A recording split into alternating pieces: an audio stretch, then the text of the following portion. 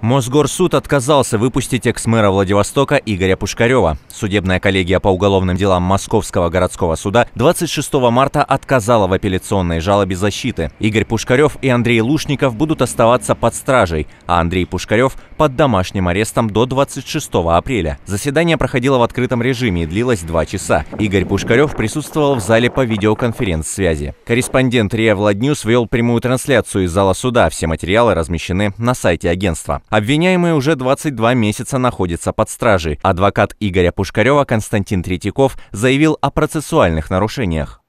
Все лица имеют статус обвиняемых, а не подсудимых. Решение о продлении нахождения под стражей незаконно, как и отказ изменения территориальной подсудности уголовного дела на Владивосток. Прокуратура не указала причину, по которой не может быть применена более мягкая мера пресечения. В материалах дела нет данных об ущербе, что говорит об отсутствии вины в принципе.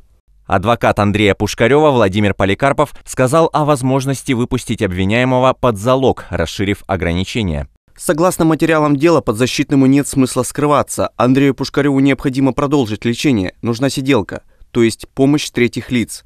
Медицинскими документами ему требуются лица для ухода, а согласно решению суда, ему запрещено общаться с другими лицами. Просим изменить меру пресечения на выпуск под залог. В своем слове Игорь Пушкарев еще раз подчеркнул заинтересованность в доказательствах своей невиновности.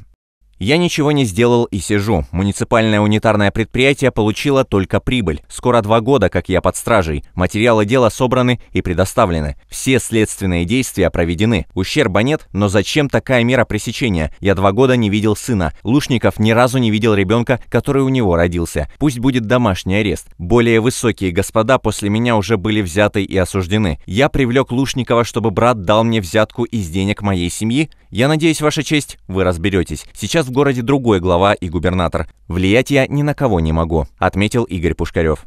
После двух часов работы суд огласил свое решение. Оставлено без изменения меры пресечения в виде заключения под стражу до 26 апреля 2018 года. И в отношении Лушникова Андрея, Вади... О, прошу прощения, и в отношении Пушкарева Андрея Сергеевича оставлено без изменения мер в виде домашнего ареста до 26 апреля 2018 года, сохранению ранее установленных запретов и ограничений оставить без изменения, апелляционные жалобы защитников без удовлетворения. 27 и 28 марта судебные заседания по делу Пушкаревых и Лушникова продолжатся в Москве.